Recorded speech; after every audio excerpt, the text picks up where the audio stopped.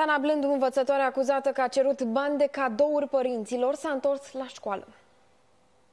Eu sunt Dana Blându și nu ceram bani pentru cadouri. Vă doresc o zi bună. Vă mulțumesc mult. Păi pentru cine strângeați, uh, pentru ce strângeați acei bani? Vă salut. Mateuță, nu mama, haide pentru că... ce strângeați acei bani?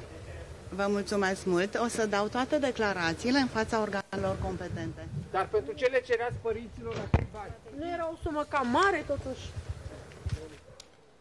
Nu va merge în fața elevilor, ci în fața șefilor. Trebuie să răspundă la acuzațiile care îi se aduc. La școala numărul 10 din capitală este și colegul nostru George Ciubotaru. George, la ce ar trebui să se aștepte astăzi învățătoarea?